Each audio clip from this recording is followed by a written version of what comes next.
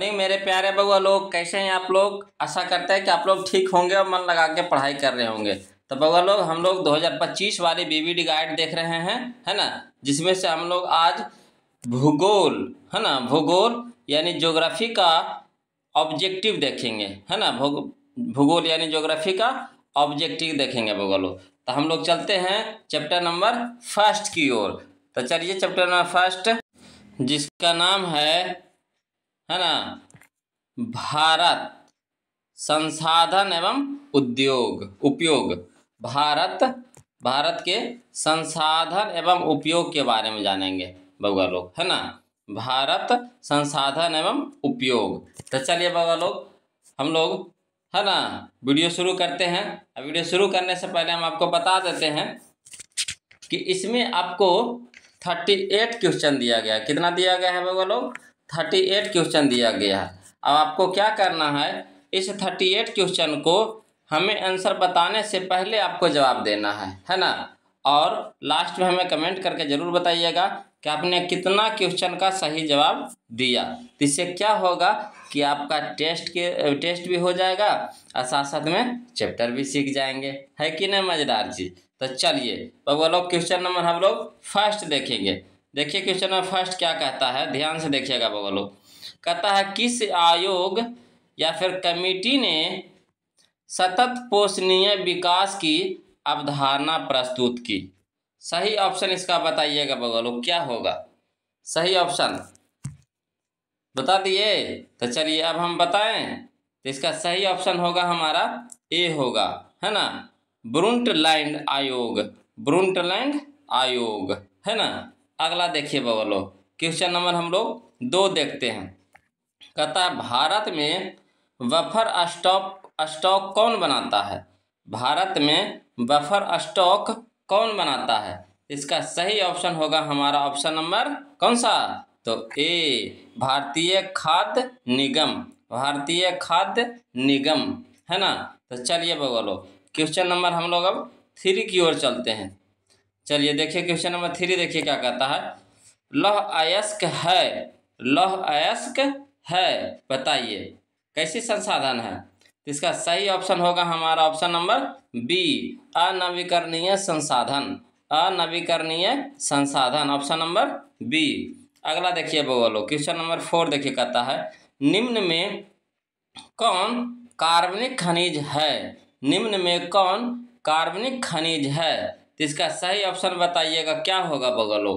तो इसका सही ऑप्शन है हमारा ऑप्शन नंबर ए, कोयला। कौन है बगलो? कोयला, है ना?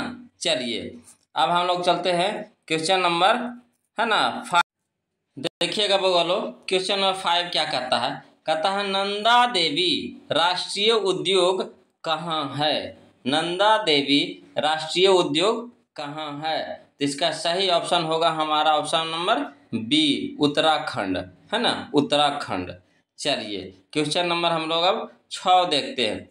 देखिएगा बगलो क्वेश्चन नंबर छः कहता है ब्रंटलैंड आयोग संबंधित है। ब्रंटलैंड आयोग संबंधित है। बताइए, किससे संबंधित है? सही ऑप्शन इसका बताइएगा बगलो। इसका सही ऑप्शन है हमारा ऑप्शन नंबर ए समावेशी विकास से। समावेशी विकास से। चलिए क्वेश्चन नंबर सात देखिए कहता है, प्रथम पृथ्वी सम्मेलन कहाँ हुआ था? प्रथम पृथ्वी सम्मेलन कहाँ हुआ था? तो ऑप्शन नंबर इसका हो जाएगा हमारा बी हो जाएगा। रियो डी जेनोर जेनेरो है ना? जेनेरियो रियो डी जेनेरियो है ना? ऑप्शन नंबर बी होगा इसका सही ऑप्शन चलिए बगलो क्वेश्चन नंबर हम लोग अब आठ देखते हैं। देखिए क्वेश्चन नंबर आठ देखिए क्या कहता है है ना? चलिए बगलो कहता है, कोयला किस प्रकार का संसाधन है? कोयला किस प्रकार का संसाधन है? तो इसका सही ऑप्शन होगा हमारा ऑप्शन नंबर ए अनवीकरणीय संसाधन। अनवीकरणीय, है ना? चलिए क्वेश्चन नंबर नौ देखिए बगलो कहता है, द्वितीय पृथ्वी सम्मेलन कहाँ हुआ था? द्वितीय पृथ्वी सम्मेलन कहाँ हुआ था? तो इसका सही ऑप्शन होगा हमारा, कौन सा? ऑप्शन नंबर यहाँ हो जाएगा डी हो जाएगा। इसका सही आंसर नहीं दिया है बगलो, है ना? इसका ऑप्शन नंबर डी होगा, कोई नहीं। न्यूयॉर्क में भी नहीं हुआ था, है ना? पेरिस में भी नहीं हुआ था मॉस्को में भी नहीं हुआ था। इन्हें कह सकते हैं कि कोई नहीं। ऑप्शन नंबर डी अगला देखिए बोलो क्वेश्चन नंबर दस देखिए क्या कहता। कहता, सौर ऊर्जा निम्नलिखित में से कौन सा संसाधन है? सौर ऊर्जा निम्नलिखित में से कौन सा संसाधन है? तो इसका सही ऑप्शन है हमारा ऑप्शन नंबर बी पुनः पूर्ति योग्य पुनः पूर्ति योग्य चलिए बगलो, क्वेश्चन नंबर हम लोग अब ग्यारह की ओर चलते हैं। हाँ बगल, आपसे निवेदन है कि अगर वीडियो अच्छा लग रहा है, आपके लिए फ़ायदेमंद है तो प्लीज़ वीडियो को लाइक कर दीजिए और जो अभी तक चैनल को सब्सक्राइब नहीं किए हैं तो प्लीज़ चैनल को सब्सक्राइब कर दीजिए, है ना? और चलिए हम लोग क्वेश्चन नंबर ग्यारह देखते हैं। आओ, बताइएगा इसका सही ऑप्शन क्या होगा। कथा निम्नलिखित में से किसका कथन है? संसाधन होते नहीं, बनते हैं। संसाधन होते नहीं, बनते हैं। किसने कहा था बगलो? इसका सही ऑप्शन होगा हमारा option number A Zimmerman. Zimmerman, है ना? ऑप्शन नंबर ए अगला देखिए क्वेश्चन नंबर बारह का था। निम्नलिखित प्राकृतिक संपदाओं में किसका भंडार सीमित है? तो इसका सही ऑप्शन होगा हमारा ऑप्शन नंबर ए, कोयला का। कोयला का, है ना? चलिए, क्वेश्चन नंबर तेरह देखते हैं बगलो तेरह देखिए क्या कहता है, डाकू की अर्थव्यवस्था का संबंध है, बताइए। किससे है बगलो इसका सही ऑप्शन होगा हमारा ऑप्शन नंबर सी, संसाधन के विदोहन से। संसाधन के विदोहन से। चलिए बगलो क्वेश्चन नंबर हम लोग अब चौदह देखते हैं, है ना? देखिए क्वेश्चन नंबर चौदह क्या कहता है? कहता है, तटरेखा से कितने किलोमीटर क्षेत्र सीमा अपवर्तक आर्थिक क्षेत्र कहलाते हैं? इसका सही ऑप्शन होगा हमारा ऑप्शन नंबर बी होगा। 200 एन एम है ना? 200 एन एम चलिए बोलो क्वेश्चन नंबर हम लोग अब पंद्रह देखते हैं।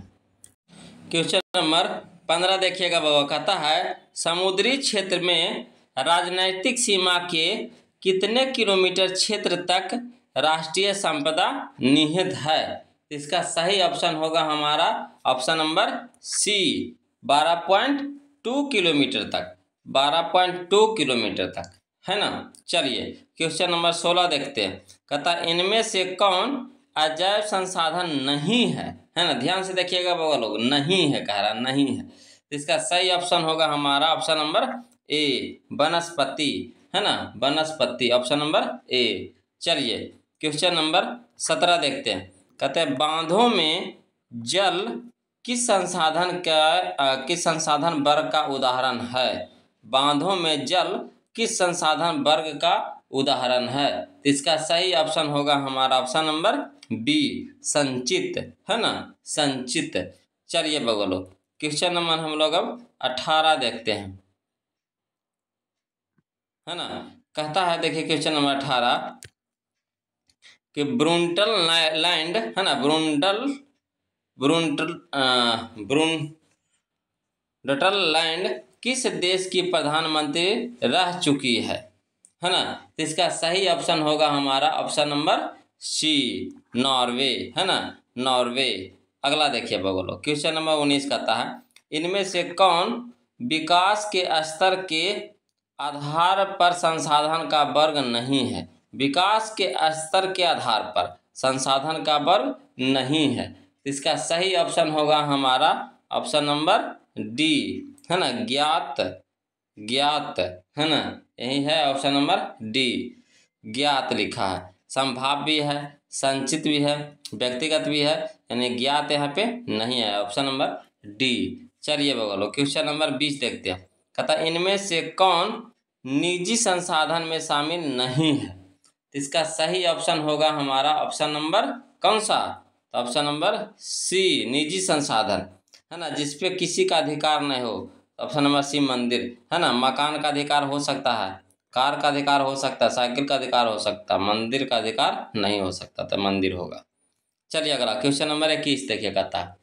जैव और अजैव संसाधन वर्गीकरण का उदाहरण आधार क्या है? जैव और अजैव संसाधन वर्गीकरण का आधार क्या है? तो इसका सही ऑप्शन होगा हमारा ऑप्शन नंबर डी होगा। उत्पत्ति, है ना? उत्पत्ति। उत्पत्ति के आधार पर, है ना? संसाधन दो प्रकार के, जैव और अजैव। चलिए बगोलो। क्वेश्चन नंबर हम लोग बाईस देखते हैं। देखिए कहता है क्वेश्चन नंबर बाईस कहता है। कि संसाधन नियोजन के कितने स्तर होते हैं? संसाधन नियोजन के कितने स्तर होते हैं? तो इसका सही ऑप्शन होगा हमारा ऑप्शन नंबर सी तीन, है ना? तीन होते हैं। चलिए क्वेश्चन नंबर तेईस देखिए कहता है स्वामित्व के आधार पर संसाधन के कितने प्रकार होते हैं? तो इसका सही ऑप्शन होगा हमारा ऑप्शन नंबर डी चार, है ना? चलिए, चौबीस देखिए कहता है पंजाब किस प्रकार के संसाधन के मामले में गरीब है? इसका सही ऑप्शन होगा हमारा ऑप्शन नंबर ए खनिज, है ना? चलिए क्वेश्चन नंबर पच्चीस देखिए कहता संसाधन का सबसे कीमती संसाधन कौन है? संसार का सबसे कीमती संसाधन कौन है? है ना? संसाधन है। संसार का सबसे कीमती संसाधन कौन है? इसका सही ऑप्शन है बगवा लोग, हमारा ऑप्शन नंबर बी खनिज, है ना? खनिज। चलिए क्वेश्चन नंबर हम लोग अब छब्बीस देखते हैं बगवा लोग देखिए क्वेश्चन नंबर छब्बीस क्या कहता है? कहता है, निम्नांकित में कौन प्राकृतिक संसाधन नहीं है? तो इसका सही ऑप्शन बताइएगा लोग क्या होगा? तो इसका सही ऑप्शन है हमारा ऑप्शन नंबर सी नगर, है ना? नगर नहीं है। चलिए क्वेश्चन नंबर सत्ताईस देखिए कहता है। प्रथम पृथ्वी सम्मेलन किस देश में आयोजित किया गया था? तो इसका सही ऑप्शन होगा हमारा ऑप्शन नंबर डी, ब्राज़ील में, है ना? प्रथम पृथ्वी सम्मेलन किस देश में आयोजित किया गया था?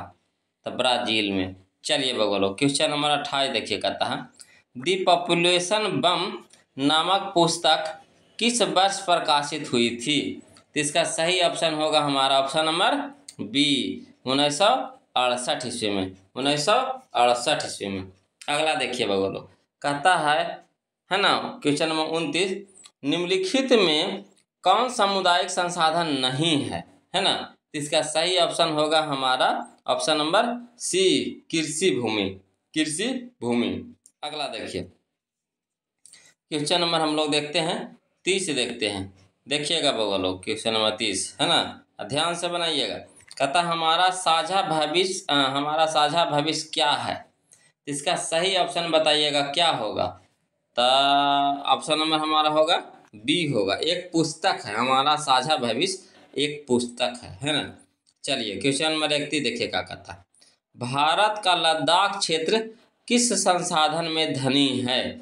जो लद्दाख है ना भारत में, वहाँ सबसे ज़्यादा कौन सा संसाधन मिलता है ना? ये कह रहा है।